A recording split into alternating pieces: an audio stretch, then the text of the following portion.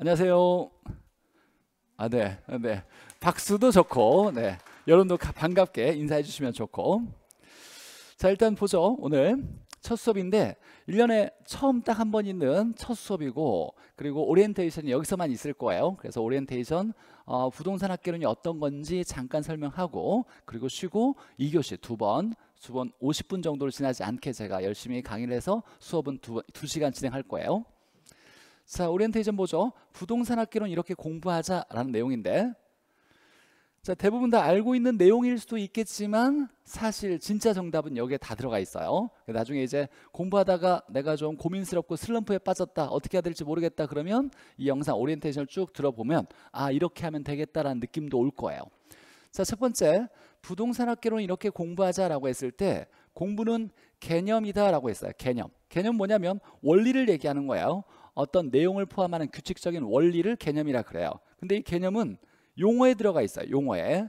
그래서 이 용어를 공부하는 것이 개념을 공부하는 거다라고 생각하면 된다라는 얘기예요.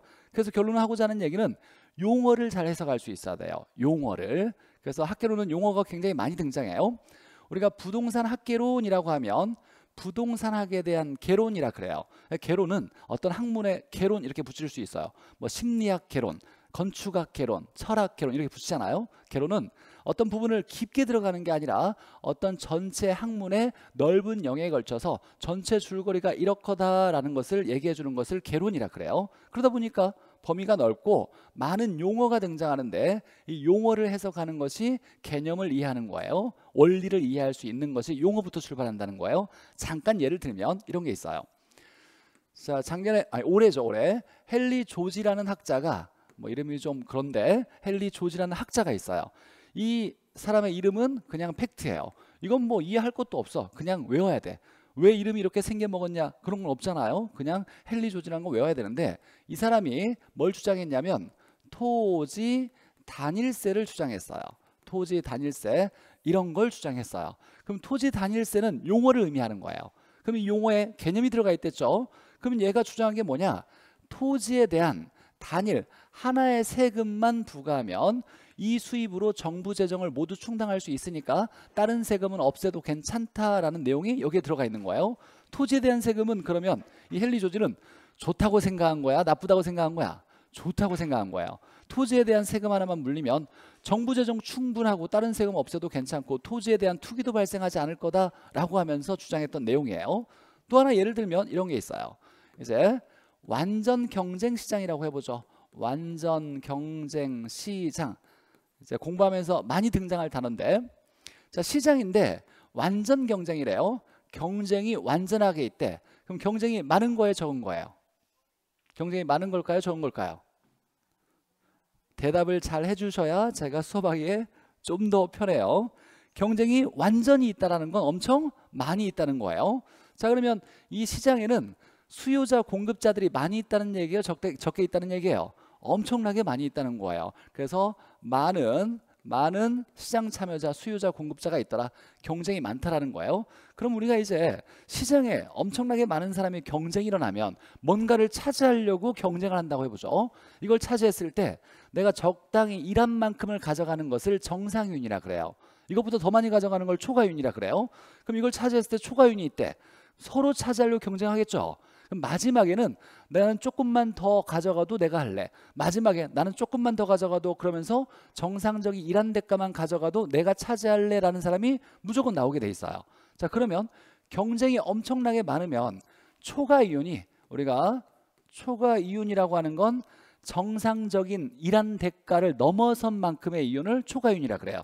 초과이윤이 있을까요? 없을까요? 없어지는 거예요. 그래서 완전 경쟁 시장에서 경쟁이 엄청나게 많이 있고 그러면 많은 수요자 공급자가 있을 거고 경쟁이 많아서 초과윤이 사라져요. 그러면 시장에서는 초과윤을 소멸시키는 게 뭐냐 그러면 경쟁이에요. 이게 이제 우리가 공부할 때 시험에 나오는 내용이에요. 경쟁이 일어나면 시장의 초과윤이 사라져요. 그러면 정상적인 일한 것보다 더 많이 가져갈 수가 없대요. 투기를 할까요, 안 할까요?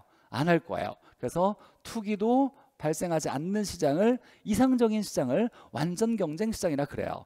이건 이상적인 시장이니까 현실은 존재하지 않겠네요. 그러면 우리 부동산 시장은 완전히 아니라 불완전 시장이라 그래요. 불완전 경쟁 시장. 그럼 경쟁이 완전하게 있지 않다는 건 적게 있다는 얘기잖아요.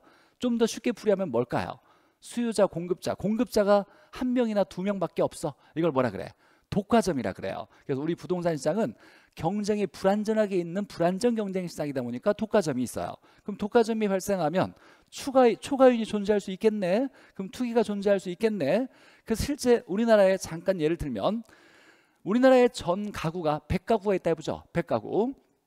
집은 한 가구에 하나만 필요해요. 실제 살 목적을 한다면. 근데 실제로 우리나라의 주택 보급률은 100%가 넘어가요. 110%야. 그러니까 가구가 100가구가 있는데 집이 110채가 있어. 자, 그러면 누구나 집 한 가구에 하나만 필요하니까 집을 사는데 어려움이 없어야 되잖아요. 근데 우리 부동산 시장은 그러지 못해요. 왜냐하면 한 가구가 투기적 목적으로 10개, 20개를 가지고 있어요. 그러면 집은 원래 100개가 넘게 있지만 필요한 사람이 정상적인 가격으로 주택을 구입하기가 어려운 일이 발생하는 거예요. 이게 우리 부동산 시장의 문제 중에 하나예요. 완전 경쟁이 일어나지 않기 때문이다.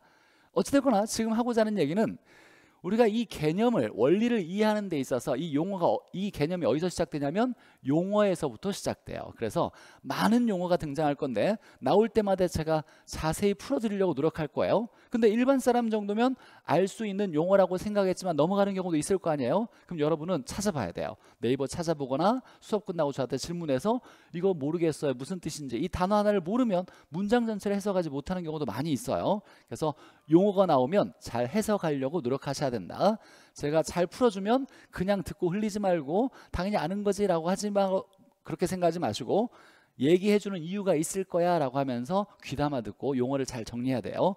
용어 정리가 첫 번째고 오늘 수업 내용은 거의 90% 이상이 용어 정리예요. 용어. 공부하는 내용이 용어 정리예요. 자, 두 번째 계산 문제가 있는데 학기로는 계산 문제가 9문제에서 10문제 출제가 되는데 이 중에 합격한 사람은 무조건 세 문제 이상을 스스로 풀었어요. 스스로 세 문제 이상을. 그러면 나머지 아홉 문제, 열 문제 나올 때 세 문제 풀었으면 하나는 찍어서 맞았겠지. 같은 번호로 찍어도 결국 합격하려면 네 문제 정도, 다섯 문제 정도 계산 문제를 맞아야 우리 학교론에서 60점 이상을 충분히 수월하게 맞을 수 있어요. 계산 문제를 이걸 포기하면 안 돼요. 근데 우리 학창 시절에 이제 수포자라고 하죠. 수학을 전혀 공부를 안 했거나 나는 수학만 보면 막 어지럼증이 생기는 분도 있을 수 있을 거예요. 근데 우리 계산 문제는 수학과 관련이 없어. 그냥 산수예요, 산수. 제가 초등학교 때부터 알아야 되는 수학적 지식을 천천히 잘 풀어줄 거예요. 그래서 하란 대로만 잘하면 돼. 근데 초등학교 수준이라면 당연히 알 거라고 생각했는데 제가 그냥 넘어갔는데 미처 이해를 못했어. 그러면 그냥 창피하니까 그냥 난 이건 버려야 되겠다라고 생각하면 안 돼요. 옆에 사람한테 물어보거나 저한테 물어봐가서 알려고 노력하셔야 돼요. 어찌됐거나 초등 수준부터 수학에 대한 내용, 산수에 대한 내용들은 다 천천히 잘 가르쳐 줄 거니까 제가 풀이 방법과 원리를 정확하게 아주 쉽게 잘 이해시켜 드릴 거니까 여러분이 해야 될 일은 뭐냐면 반복적으로 연습하기만 하면 돼요. 계산기 쓸 수 있어요. 그래서 다음 시간부터 이제 계산기 우리 시험장에 가져갈 계산기를 하나씩 준비하라고 제가 말씀을 드릴 거예요. 다음 주에. 그래서 계산기 가져와서 잘 설명해 주면 그걸 바탕으로 해서 계산기만 눌러서 답딱 찾아내면 돼요. 그래서 계산 문제 버려야 되겠다라고 생각하면 안 돼요. 무조건 내가 풀 수 있는 거 어려운 문제도 있겠지만 그런 건 버려도 되고 풀 수 있는 건 꼭 내가 풀어야 되겠다라고 생각하면서 계산 문제 중요하구나 이렇게 생각하셔야 돼요. 자, 세 번째. 자, 학개론은 이해 과목이라 그래요. 유일하게 우리가 배우는 여섯 과목 중에서 학교론이 부동산 학교론이 있고 민법이 있고 그다음에 중개사법, 공법, 공시법, 세법 총 여섯 과목이 있어요. 근데 학교론 빼고는 다 법이에요, 법. 학교론만 유일하게 학문이에요. 그러다 보니까 용어도 많이 등장하고 이해가 필요해 이해가 우리 학개론이 총 8단어로 구성되어 있는데 네 단어는 암기만으로도 충분히 할 수 있어요 근데 네 단원이 이게 경제론, 투자론, 금융론, 감정평가론은 이해 없이는 문제를 풀 수가 없어요. 그래서 이해를 해야 된다. 이해하려면 어떻게 해야 되는데 제 설명을 잘 들어야 돼요. 집중해 잘 듣고 알아들어야 돼요. 알아듣기만 하면 안 되고 또 혼자 공부해야 되는 과정이 있어야 되겠죠. 다시 얘기하겠지만 자 그래서 한 번 제대로 이해한 건 흔들리지 않는다는 건 오랫동안 가요. 그래서 보통 공법을 딱 공부하고 하루 지나면 좀 반절 남아있다고 치더라도 열심히 공부했다 하더라도 일주일 지나면 싹 사라져요. 다시 공부해야 돼. 근데 학교론 같은 경우는 한 번 제대로 딱 공부해 놓으면 한 달이 지나가도 머릿속에 거의 다 남아 있는 경우가 많아요. 이해를 바탕으로 하기 때문이에요. 그래서 이해를 해야 된다.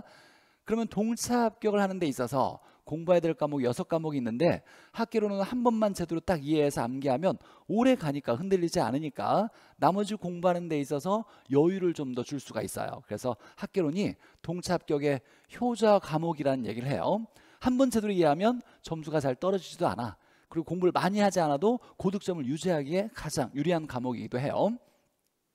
그래서 이해하려고 노력하셔야 된다. 알아들으려고 노력하셔야 된다. 자, 공부하는 방법은 학습 방법은 이건 학기론뿐만 아니라 모든 과목에 해당되는 내용이에요. 자, 강의를 들어요. 강의를 듣고 얘가 무슨 얘기를 하는구나를 알아듣는 것을 이해 과정이라 그래요. 이건 이제 제가 강의를 잘해서 여러분한테 설명을 잘 해드릴 거예요. 이건 수업 중에 일어나겠죠. 그래서 수업 중에 열심히 듣고 강의하는 걸 잘 알아들었어요. 자, 그 다음에 수업했을 때 내가 선생님이 말한 것 중에 80% 정도를 알아들었어. 뭔 소리인지 알아들었어. 그 다음에는 집에 가서 영상을 볼 필요는 없어요. 그 다음에 해야 될 건 여러분이 집에 가셔서 읽고 공부했던 내용을 암기해야 돼요. 암기. 이건 제가 할 수 없고 여러분이 하셔야 돼요. 그러니까 강의를 80% 이상 들었으면 그 다음에는 읽어야 돼요. 무슨 얘기냐면 알아들었는데 여기에 이제 공부하는 사람들 중에 장수 하시는 분이 있어요. 4년, 5년, 6년 하신 분 사실 많이 있어요. 이분들은 선생님이 하는 얘기는 다 알아들어. 다 알겠어. 근데 문제를 풀려고 하면 점수가 안 나와요. 근데 우리는 합격하려면 알아듣는 것과는 관련이 없어. 문제를 잘 풀어내야 60점 이상을 맞아야 합격하잖아요. 그럼 문제를 풀려면 읽어 나갈 줄 알아야 돼. 살면서 소설책이나 만화책 한 권도 안 읽으신 분이 있을 수도 있어요. 그럴 수도 있지. 그동 그동안에 필요가 없었으니까 읽지 않았지만 이제는 합격을 하려면 읽어 나갈 줄 알아야 돼요. 그러니까 읽는 연습을 해야 돼요. 문자의 해석 능력을 길러야 되는 건 이건 읽어보면 돼요. 많이 읽으면 이 능력이 커지는 거니까. 그래서 스스로 읽고 암기하고 그 다음에 해야 될 건 문제를 풀어야 돼요.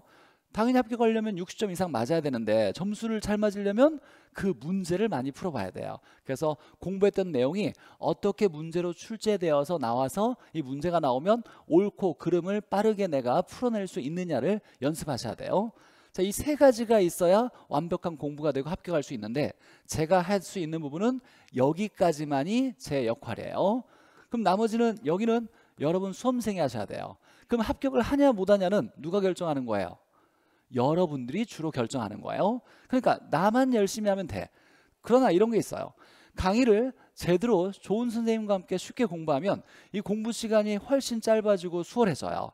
근데 똑같은 내용이지만 말제 제가 강의할 때 단어의 선택, 단어를 순서를 한다거나 논리적으로 펼치는 설명 이런 것들이 잘 뒤죽박죽된 설명을 들으면 이때 혼자 공부하는 시간이 굉장히 길어지고 괴로울 수 있어요. 그래서 좋은 선생님 만나서 강의를 들었으면 이제 나머지는 여러분이 하셔야 된다. 일단 11월, 12월 과정에는 이 과정이 오래 걸리진 않아요. 이 수업을 만약에 두시간만 수업을 했을 때 이건 집에 가셔서 여러분이 한시간 정도만 투자하시면 돼요. 물론 직장 다니고 야간에 공부하시니까 쉽진 않겠지만 어쨌건 우리는 직장 다니면서 돈도 벌고 공부해서 합격도 해야 되는 두 개의 목표를 가졌으니까 힘든 건 좀 감당해내셔야 돼요. 그래서 당일날 가능해. 오늘 수업 딱 끝나고 집에 가셔든지 아니면 수업 끝나자마자 학원 문 닫을 때까지 잠깐 여기서 공부하고 가시든지 당일날 가능한 한시간 정도는 투자하셔서 공부한 내용을 머릿속에 확인하셔야 돼요. 언제나 이 과정을 거쳐야 되고 강의만 열 번 들어서 알겠다라는 건 그건 진짜 공부가 아니에요. 알아들은 거지. 합격을 하기 위한 이 두 번째, 세 번째 과정을 못하면 이건 점수를 높게 맞기 어렵다라는 거 명심하시고 자 네이버 밴드가 있는데 제가 네이버 밴드에서 검색했을 때 학계론의 정석 황재원 이렇게 찾으면 제 밴드가 딱 등장할 거예요. 그러면 1월부터 기출 문제, 문제를 푸는데 가장 중요한 문제는 기출 문제예요. 그래서 기출 문제를 하루에 두 문제씩 제가 올려드릴 거예요. 그러면 아침에 일어나서 짬날 때 아니면 좀 잠깐 시간 날 때 버스 타고 이동할 때 그때 밴드에 딱 들어가서 올라간 두 문제 딱 풀어서 답 딱 남겨놓으면 제가 어 잘했어요. 어 틀렸네요. 다시 한번 보세요. 이런 얘기 이제 답글을 달아드릴 거예요. 그래서 밴드 활용하셔서 문제를 꾸준하게 반복적으로 풀어볼 거고 짬 내서 풀어보는 시간을 가질 수 있고 이제 이 밴드에서 제가 나중에 이제 틈 나는 대로 심기일전이라는 라이브 특강, 무료 특강을 진행해요. 침기일전 뜻은 어떤 일을 계기로 새롭게 마음 먹는 거라고 해서 중간중간에 어려운 단어들이 들어가 있어요. 아까 이해가 필요한 단원, 경제론, 투자론 이런 게 좀 어려운 단원이에요. 이때 어려운 거에 닥쳤을 때 어우 야 학교는 이렇게 어려운 거였어? 힘드네? 라고 할 때 제가 이런 시간을 가져서 밴드에 딱 미리 공지하고 토요일 날 7시 이후에 이렇게 2시간이나 3시간 정도 라이브로 특강을 진행할 거니까 이건 밴드에만 공지하는 거예요. 그래서 밴드 들어오셔서 내가 좀 더 보충 수업도 활용할 수 있더라.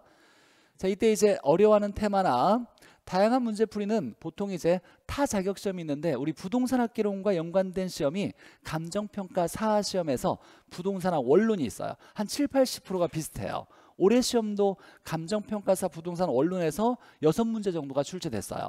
그래서 타 자격 시험에서 출제되는 거 이런 것들도 제가 이 시간을 통해서 강의를 해드릴 거예요.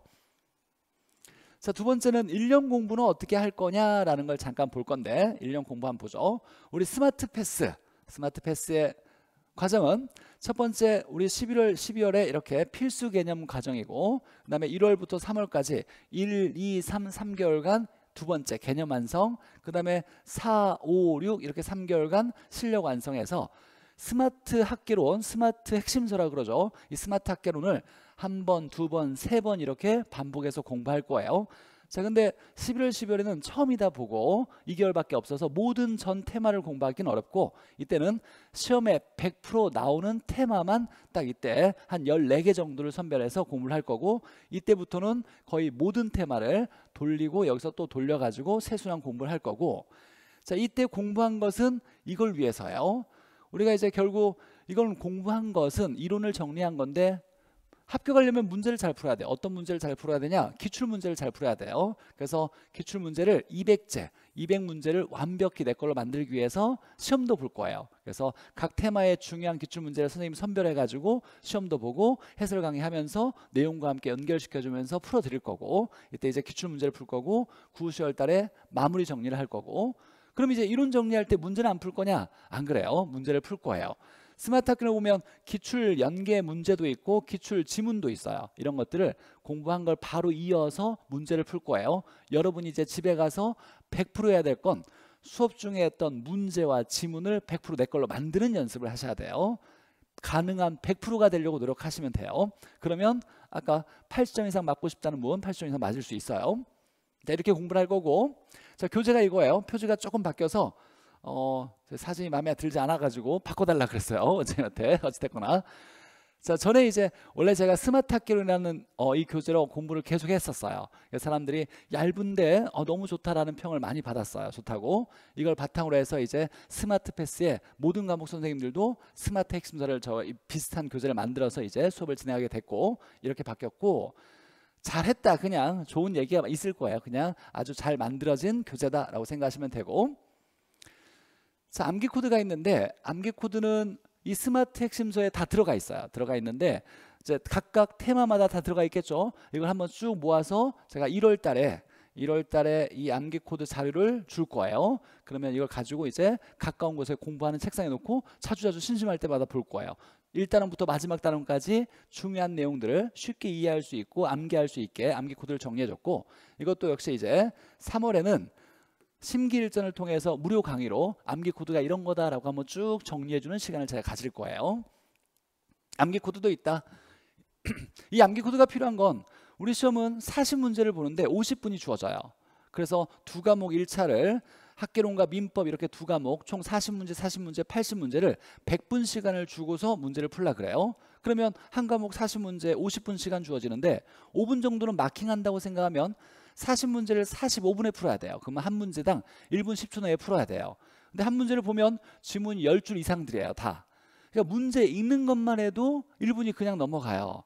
그래서 사실 이런 게 필요해요. 딱 보자마자 암기 코드로서 수십 번 외웠던 건데 그게 딱 틀리게 나왔네. 그럼 다른 거 볼 필요 없이 thank you 하고 다음 문제 넘어갈 수 있겠네요. 그렇게 직관적으로 바로 정답을 찾는데 시간을 줄이는데 필수적이에요. 그래서 어쩔 수 없이 암기 코드를 활용하면 쉽게 암기도 될 거니까 재밌는 암기도 많고 뭐 천재적이다라는 얘기도 많이 들었어요. 이제 여러분이 느낄지 모르겠지만 자 계산 문제가 있어요. 우리 계산 문제 포기하면 안 된다 그랬죠.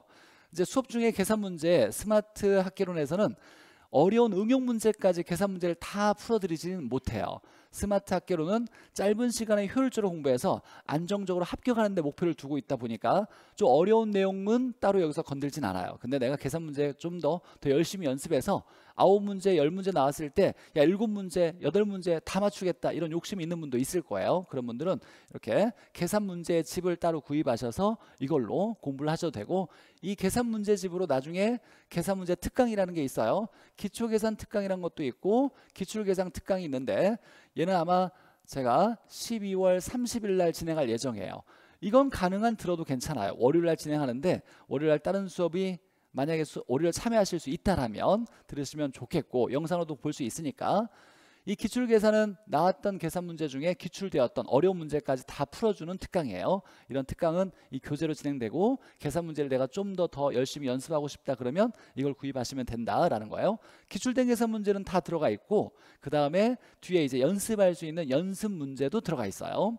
계산 문제를 유형으로 제가 다 분석하니까 18가지 유형이 있어요. 18가지.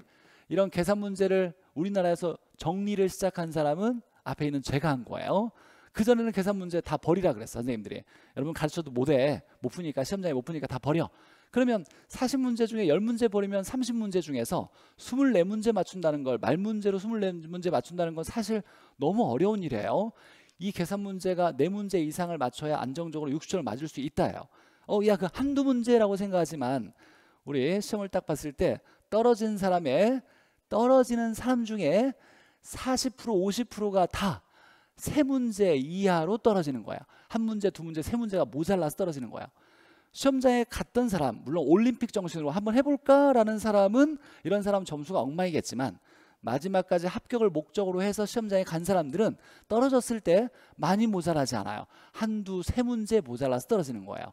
이 한두 세 문제를 맞추기 위해서 계산 문제가 필요한 거예요. 그래서 계산 문제를 잘 풀어 들었다. 풀이도 잘 정리한 교재다라고 생각하시면 될 거고 백선이라는 게 있어요. 이건 마지막 마지막 특강인데 특강집인데 공부를 쭉 하고 마지막에 시험에 나올 만한 거 100문제만 딱 엮어 가지고 이렇게 특강을 진행하는 게 쪽집게 백선이에요. 이건 뭐 어, 요즘 수험생들은 나랑 같이 공부했던 선생님 거 말고도 다른 선생님 것도 백선을 다 듣겠다라는 그런 경향이 있긴 한데 그만큼 중요한 거예요.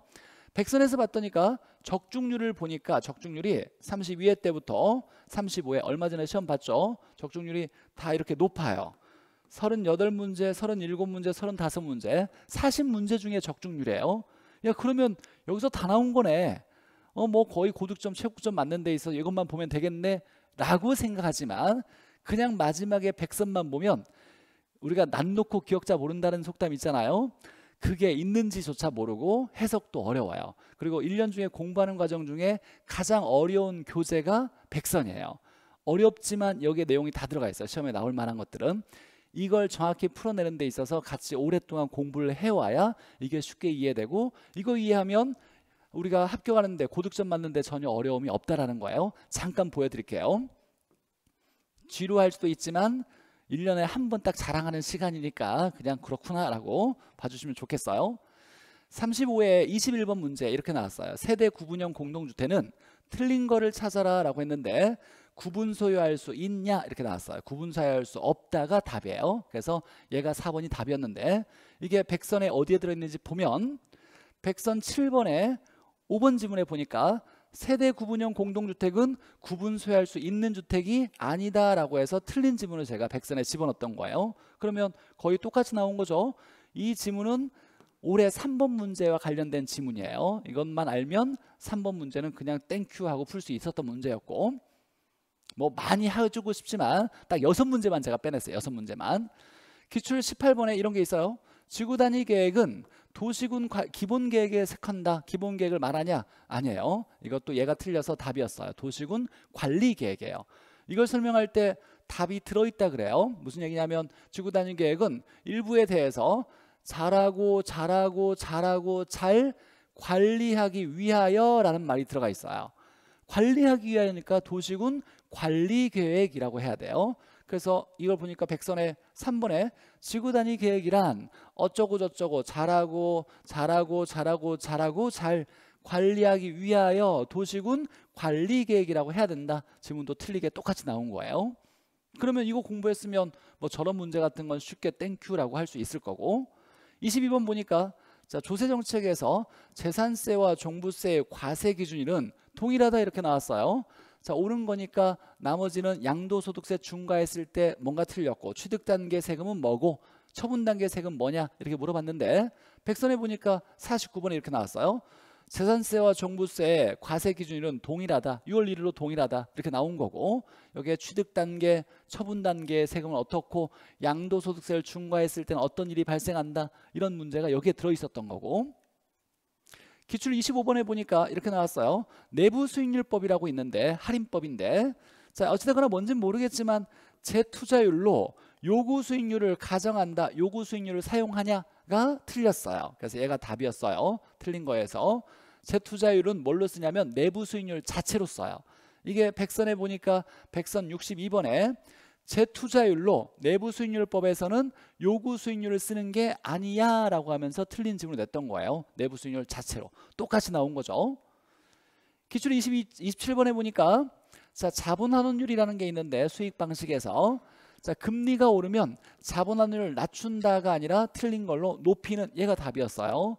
이 지문이 어디에 있냐라고 봤더니 백선 92번에 금리를 올리면 자본환율을 뭐 한다? 높인다. 이게 옳은 지문으로 백선에 들어있던 거고 35회, 35회, 35번에 자 기준 시점은 뭐냐? 가격 조사를 완료한 날인데 야 이걸로 끝나지 않고 뒤에 문장이 붙어 있으면 미리 정할 수 있는데 미리 정했을 때는 그냥 그 날짜로 하는 것이 아니라 가격 조사가 가능한 경우에만 할 수 있다라고 중요하다고 계속 강조했던 내용인데 틀린 걸로 1번이 답이었는데 백선을 보니까 94번 비읍 보기에 기준 시점은 가격 조사를 완료한 날로 미리 정할 수 있는데 미리 정할 때는 그 날짜에 하는 게 아니라 뭐가 가격 조사가 가능한 경우에만 할 수 있다라고 중요하다고 해서 이게 틀리게 됐던 지문이 여기 있었어요. 다 들어 있었는데 이상하게도 어, 같이 공부한 사람 중에 합격한 사람은 백선에 다 나왔다 그래요. 음, 다 있었다. 다 있었죠. 근데 떨어진 사람들은 하나도 안 나왔다 그래요. 하나도 안 나왔다. 그분이 거짓말 하는 게 아니에요. 그냥 그분은 그렇게 느끼는 거야. 왜냐하면 있는지를 모르는 거지. 있었다 없었다 팩트를 얘기하는 게 아니라 나는 있는지를 몰라서 합격 못한 거예요. 그러니까 공부를 열심히 하면 이걸 1년 동안 쭉 공부했던 걸 마지막에 백선에서 잘 정리하면 합격하는데 어려움이 없는데 공부가 안 되고 백선만 봤다고 해서 합격할 수 있는 점수를 얻기는 어려워요 사실 이게 있는지도 몰라요. 해석도 어렵거니와. 어쨌거나 쭉 꾸준히 같이 열심히 공부하면 합격하는데 어려움이 없다. 믿고 열심히 공부하시면 된다라고 얘기 드리는 거고. 우리 시험제도 잠깐 보죠. 그리고 35에는 어떻게 나왔는지 잠깐 해석해 보면.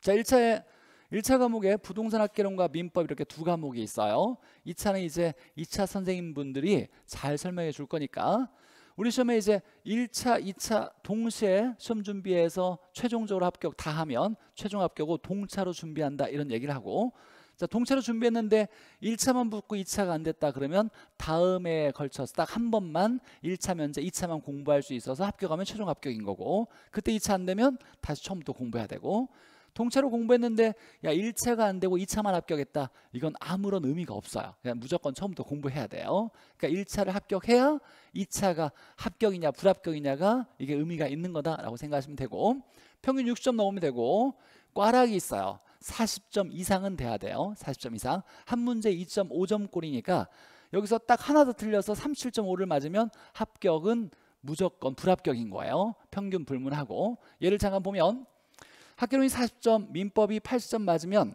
얘가 20점을 보태줄 거니까 딱 평균 60점이에요. 그러면 합격 이렇게 될 거고 자 95점 37.5 맞았는데 60점 평균 넘어요. 근데 얘가 꽈락이 됐죠. 40점 밑으로 나왔으니까 얘는 무조건 불합격이에요. 근데 사실 내가 포기하지 않고 마지막까지 시험장에 갔다 공부하고 그러면 1차 과목은 꽈락은 거의 존재하지 않아. 꽈락 걱정하진 않아도 돼요. 자 근데 여기서 이제 중요한 게 뭐냐면 한번 보죠. 꽈락을 면하니까 최저 점수는 40점이에요. 근데 1차 과목은 딱 두 과목이 있어요. 그러니까 한 과목을 40점 맞으면 다른 과목은 얼마를 맞아야 평균 60점이 나올 수 있겠냐라는 건 당연히 80점이죠. 그래서 1차 과목의 최고 점수는 80점이라는 게 중요한 거예요. 80점이다. 100점을 맞으려고 목표하면 안 되고 합격을 무조건 꽈락을 면해야 되니까 40점 이상은 맞아야 돼요. 그럼 평균 60점을 맞기 위해서 다른 과목은 얼마의 점수가 필요하냐라고 했을 때 80점까지만 합격에 의미 있는 점수고 85점, 90점, 95점은 그냥 기분만 좋은 거지 합격과는 아무런 관련이 없는 점수예요. 자 그러면 100점 만점 중에 20점에 해당되는 것은 합격과 관련이 없네요. 이건 버려도 되는 문제예요. 몇 문제냐? 8문제예요. 엄청 많은 거예요. 40문제 중에 8문제는 몰라도 돼. 몰라도 합격 최고 점수를 맞는데 가능해. 라고 생각하는 거예요. 그럼 이제 공부할 때도 마찬가지예요.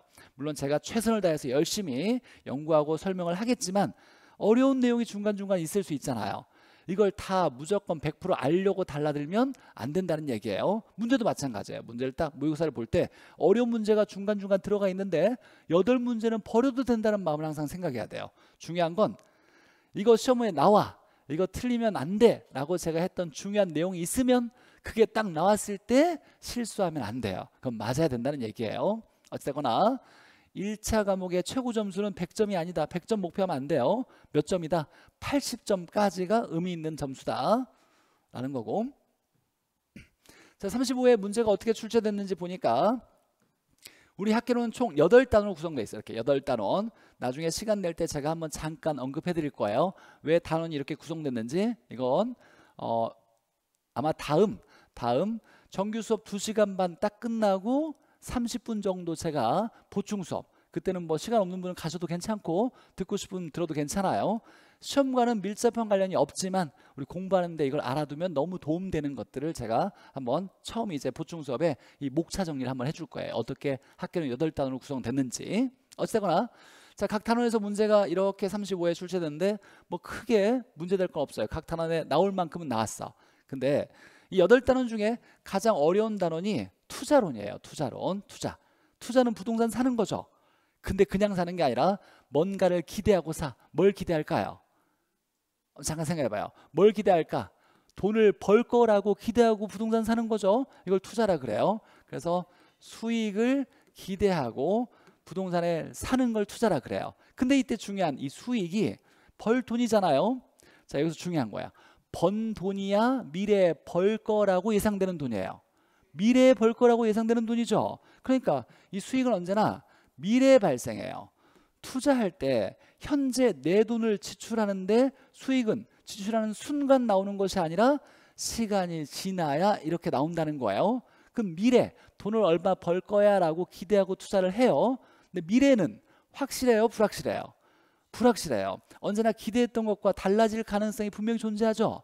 그러니까 예상과는 다르게 발생할 수 있다는 불확실성 이걸 위험이라 그래요. 위험이 존재하더라. 뿐만 아니라 이 수익이 미래이기 때문에 우리가 좀 더 고민해야 될 이익이 있는데 간단히 예를 들면 내가 친구한테 1억을 빌려줬어.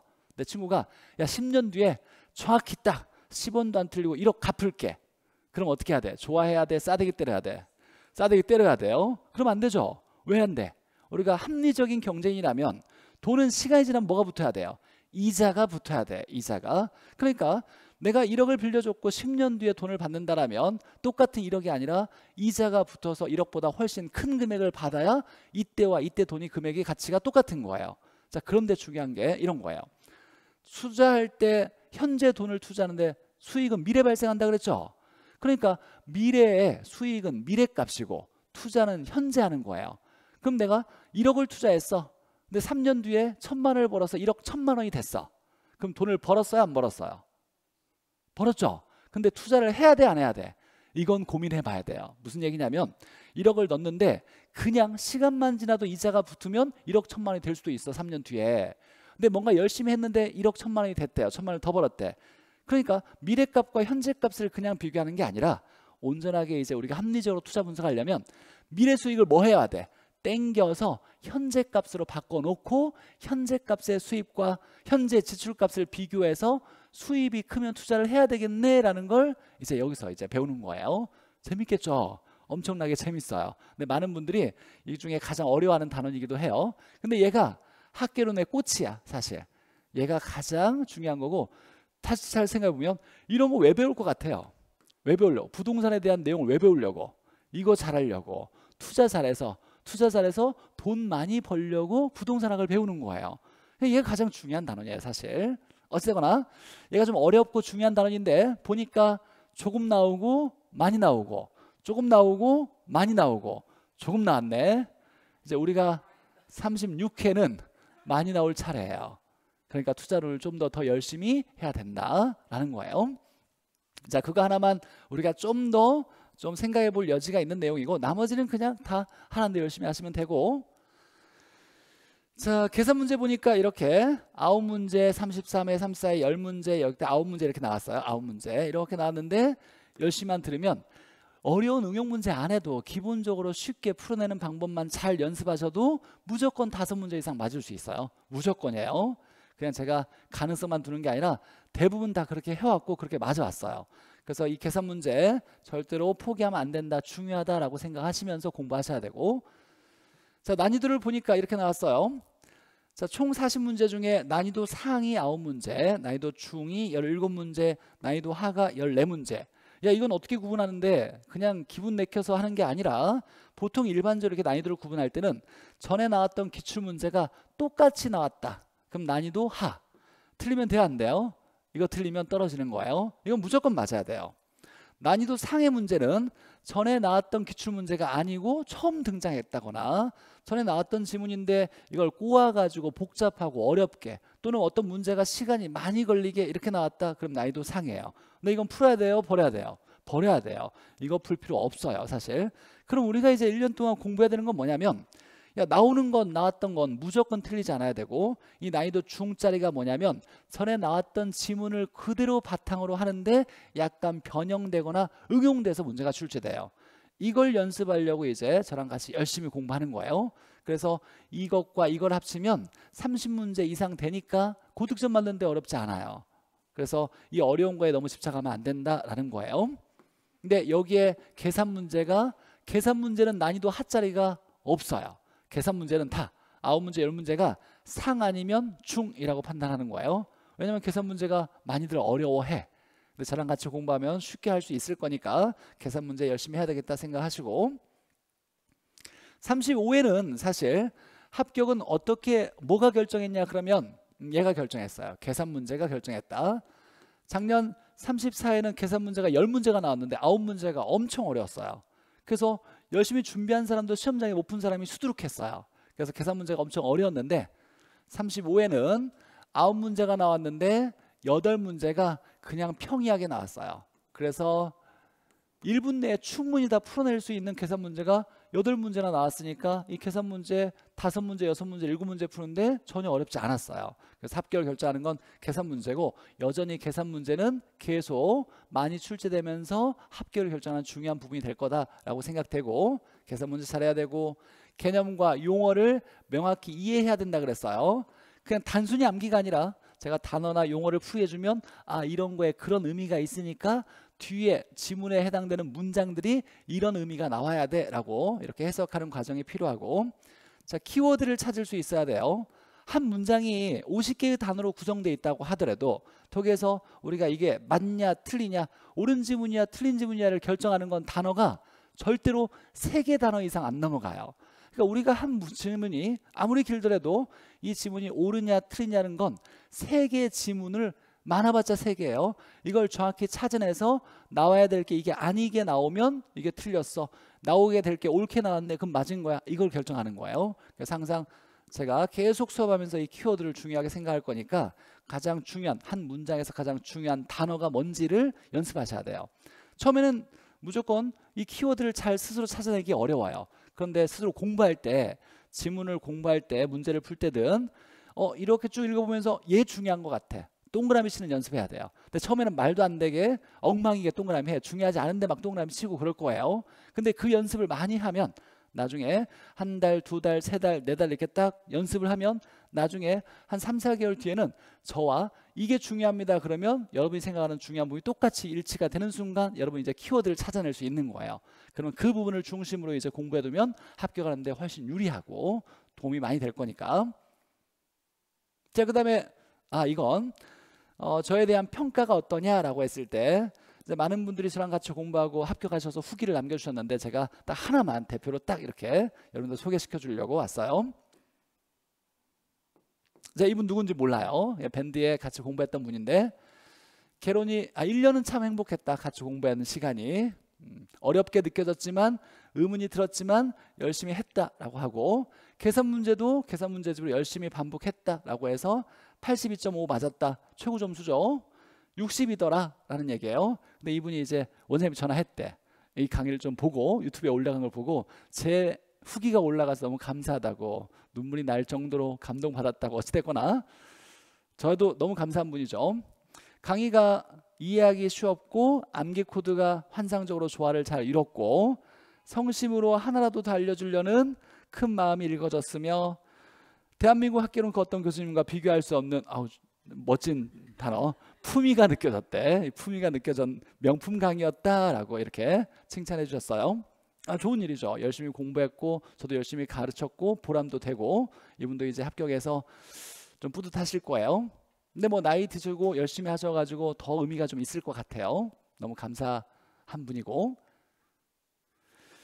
자 마지막에 제가 드리고 싶은 말은 공부 힘들어요. 힘들죠. 1년 내내 공부해야 되는 거 이거 정말 또 직장까지 병행한다라는 건 진짜 힘든 일이지만 어쨌거나 목표를 잡았고 하기로 했다라면 마무리를 끝까지 멋지게 이뤄내길 바라고 시험장에서 웃고 나올 수 있어야지 공부할 때 히히 즐겁고 이거 중요하지 않아요.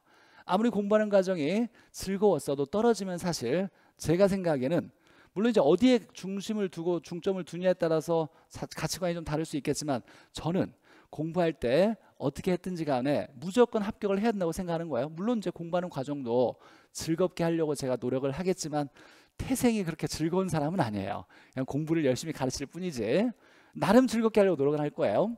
어찌되거나 진짜 합격하기 위해서 준비된 공부를 해야 된다. 여기에서 의미를 좀 해석하자면 이런 거예요. 쉽게 나오면 쉽게 공부해도 합격할 수 있어요. 근데 쉽게 나올지 아무도 몰라요. 문제는 어떻게 나올지. 어렵게 나와도 합격해야 돼요. 그걸 대비하기 위해서 제가 공부하는 거지. 그냥 쉽게만 가르치고 대충 가르치고 쉽게 나오면 합격할 수 있고 어렵게 나오면 다시 공부해. 그럼 되잖아. 이렇게 얘기할 수 없다라고 생각하는 사람이다 보니 열심히 제가 준비한 걸 가르칠 거고 여러분도 잘 따라오시면 어렵게 나와도 충분히 잘 어떻게 나와도 합격 안정적으로 할 수 있겠다. 고득점 맞을 수 있겠다라고 제가 약속 드리는 거고 저는 열심히 할 거예요. 근데 누구도 해야 돼요. 여러분도 해야 돼. 여러분도 같이 해서 열심히 계속 나가야 합격할 수 있을 거다라는 얘기고, 네. 응원합니다. 열심히 하시라고. 자, 11월, 12월 필수 개념 이제 강의 개표 받았을 거예요. 강의 개표 잠깐 제가 설명해 주면 우리 교재는 이거죠. 스마트 핵심서 이게 다음 주에 나올 거예요. 다음 주에 다음 주에 이제 교재로 공부할 거고 자, 이 교재 뭐 유튜브에 보면 이 교재의 특성이 모든 선생님들이 다 야, 스마트 핵심서, 스마트 학개론이나 이런 것들이 어떤 거야? 라고 유튜브에 많이 올려져 있으니까 많이 들으셨을 거예요. 여기에 다 들어가 있다. 내용도 중요한 거 압축되어 있고 기출 문제도 들어가 있고 기출 지문도 들어가 있더라 라는 거예요. 그리고 얇더라. 이 얇은 거를 여러 번 반복하면 합격하는데 충분하더라 라는 거예요. 자, 강의 목표는 이제 11월, 12월 달에는 반드시 출제되는 테마를 중심으로 공부한다는 거예요. 매년 나오는 테마예요. 그러니까 나오면 맞아야 되겠죠. 이건 난이도 하에 해당되는 문제예요. 그러니까 무조건 맞아야 된다 생각하고 열심히 공부하시고 자 계산 문제도 등장할 때 계산 문제도 제가 이제 기초 수학부터 해서 더하기 빼기 곱하기부터 설명할 거예요. 이런 거 다 까먹었을 거예요. 분수 개념도 잘 기억 못 할 수도 있어. 절대로 뭐라고 하잖아요. 야 나는 모르겠는데 아 물어보기 창피한데 이런 사람들 많아요. 그럼 안 돼. 제가 절대로 아니 이것도 몰라 이렇게 얘기하지 않을 거예요. 무조건 친절하게 잘 설명해 줄 테니까 알 때까지 설명해 줄 테니까 질문하셔야 돼요. 영상으로 공부하시는 분들도 모르시면 질문하시면 제가 최대한 이해할 수 있게 설명해 드릴 거니까 그냥 넘어가시면 안 돼요. 계산 문제는 초반에 이 기초 산식을 잘 알아야 쉽게 풀어내고 어려운 계산은 계산기가 누르서 할 거니까 여러분 계산기 누른 손가락만 잘 움직이면 할 수 있어요. 그래서 처음부터 기초 산식에 해당되는 걸 잘 이해해서 계산 문제도 풀 거다라는 거고 쭉 테마 이제 몇 주차마다 이렇게 공부할 거다라는 단원이 적어져 있고 학습 방법은 여러분 또 특히나 시간이 없잖아요. 직장도 다니고 학원도 나와야 되니까 그래서 여러분들이 특히나 더 해야 될 건 수업에 집중해야 돼요. 수업에 최대한 집중해서 뭐라고 하는지 잘 알아들으려고 노력하고 그냥 이해하려고만 하면 안 되고 덕에 좀 더 여유가 있으면 암기까지 하려고 노력해야 돼요. 암기를 그럼 어떻게 해? 계속 머릿속에 되뇌이면 돼요. 되뇌이면 내가 여기서 말로 하면서 어 완전 경쟁 시장 완전 경쟁 시장 이렇게 얘기하면 옆 사람이 좀 싫어하잖아. 저 때문에 좀 방해되고 그러니까 속으로 되뇌이면서 한번 써보면서 이렇게 이해됐다라면 수업 중에 암기하려고도 노력하셔야 돼요. 그리고 가능한 이렇게 얘기하면 좀 재수 없다고 하는 사람들이 많이 있어요. 쉬는 시간에도 공부해요. 쉬는 시간에 음, 저 좋은 대학 나왔어요. 공부 잘했어. 공부를 많이 했냐? 또 그렇지도 않아요. 아니, 많이 했지. 근데 친구들이 보기에는 어우, 저 녀석은 공부도 많이 안 하는 것 같은데 공부 엄청 잘하네. 그래서 서울대를 나왔어요. 근데 제가 공부하는 방법은 뭐냐면 어, 일요일 날은 무조건 놀았어요. 일요일 날 친구들 막 공부할 때 저는 어 뭐 바람 쐬러 놀러 가고 오락실 가고 뭐 운동 농구하고 막 놀았어요. 근데 일요일 뺀 나머지는 다 공부를 많이 했던 건 뭐냐면 수업 끝나고 쉬는 시간에 점심 시간에 이건 절대로 제가 허투루 쓰지 않았어요. 그리고 짧은 시간 뭐 버스 타고 가는 시간에도 단어 공부하고 그리고 일요일 날은 놀았어요. 그러니까 여러분도 그렇게 공부해야 돼. 직장 다니고 힘드니까 쉬는 시간도 공부해서 이렇게 효율적인 공부를 하고 수업을 듣고 바로 내가 공부하는 건 효율이 가장 극대화된 거예요. 이게 3시간만 지나도 공부했던 반절이 사라지기 시작해요. 내 공부가 딱 끝나자마자 수업 들은 잠에 바로 내가 내가 수업 중에 했던 내용을 정리하고 이렇게 암기하려고 노력하면 이 내용이 거의 80% 이상이 머릿속에 암기가 될 수 있어요. 그러면 시간이 좀 오랫동안 기억에 남을 수 있으니까 굉장히 효율적이에요. 이런 짧은 시간들 잘 활용하고 일요일 날은 가족들과 즐겁게 보내면 돼요. 이렇게 활용하셔야 된다. 자, 복습 시간. 이게 이제 여러분에게 제가 한 시간은 무조건 공부할 시간을 가져야 된다. 확보해야 된다.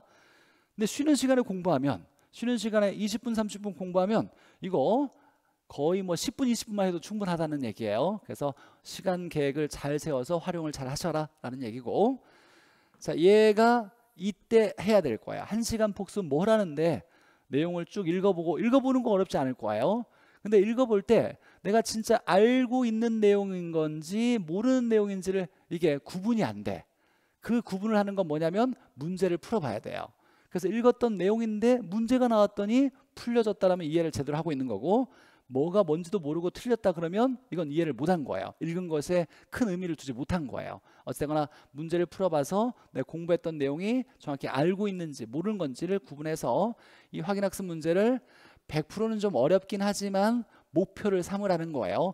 100% 정도 될 정도로 내가 풀었던 문제만큼은 확실히 내가 수업 중에 했던 것들은 알아가야겠다라고 생각하시면 되고 밴드 활용하시고 기초 계산 문제는 어 12월 30일 날 월요일 날 이렇게 있더라 시간 되시면 들으시면 계산 문제에 대해서 좀 더 수월하게 접근할 수 있을 거예요. 여기까지 제 오리엔테이션이었고 어, 수업은 안 했는데 수업이 즐겁다고 그러셨는데 어, 네. 어쨌거나 도전 합격님 감사해요. 어, 수업이 즐겁다고. 어, 네.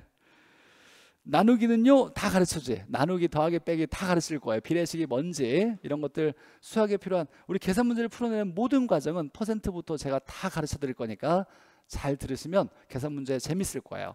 대부분 다 합격하신 분들은 계산 문제가 제일 쉽고 명확하다라고 얘기해요. 이건 딱 풀면 답이 딱 나오잖아요. 긴가 민가 이럴 필요가 없어요. 딱 풀어서 답 나오는데 답이 있어? 그럼 무조건 맞는 거니까 좀 짜릿함이 있어요. 우리 수학 문제 학창시절에 그런 게 있었잖아요. 어쨌거나 그런 계산 문제도 열심히 할 거다. 자, 어, 10분 쉬고 어, 좀 죄송하긴 한데 지금 45분이에요. 제가 원래 딱 40분에 끝내려고 했었는데 좀 시간이 오가 됐는데 10분 정도 딱 쉬고 이제 수업 들어가도록 할게요.